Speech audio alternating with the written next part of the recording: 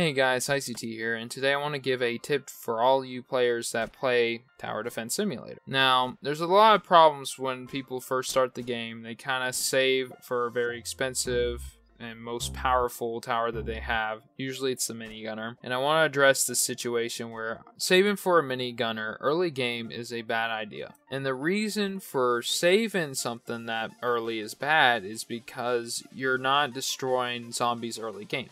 So the first nine waves, those are the most crucial when you start to triumph any sort of wave. If you want to be very strong throughout your playthrough, it's best to destroy a lot of the zombies in the early game. And to do this, you would need a lot of riflemen like John or even Soldier, maybe even some sort of stalls like Syro or like Freezer, or even a Pyro, because those enemies need to be destroyed as quick as possible so you can get a wave bonus. Those wave bonus may be small, but they add up and you can have more towers. Most people don't realize that. They kind of just save and save and save and they don't realize they're not getting the wave bonuses. They're not killing enough of the zombies to do that. And now they're stuck because they almost have that amount. And like in the video, they don't kill the boss one. But when they don't have enough towers, we lose. We don't really have anything else. And people get upset, people rage quit. And I understand where people are coming from. They just need to understand how to play the game, and it's very simple at the start. You just need to control as much as the area as possible, either with towers that can do a lot of damage or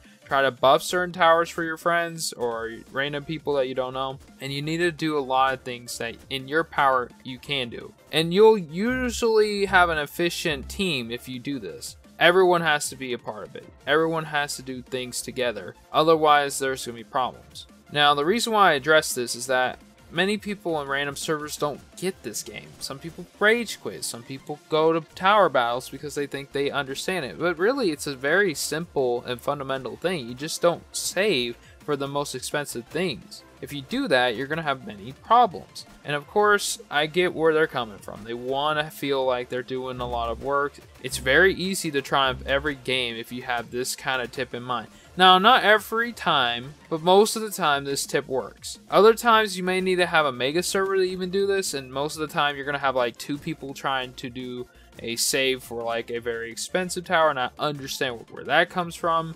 You need to have people doing different things and doing different stuff overall. Some people have to buff, some people have to generate money on their own, like with farms, which by the way got buffed up to 25 at base to 50. It's not a crazy buff, but it does really help when you start upgrading that farm and helping your teammates later when you max out all your towers. I think overall, not many people do this, but if you want to help your friends out, if they ever do this kind of thing where they save for the most expensive tower, please assure them that they could help the team and be someone better by at least adding mediocre towers to defeat the first nine or so waves. Anyways, that's it for the video. If you have other tips, please comment down below. I want to know how you triumph all these maps in Tower Defense Simulator.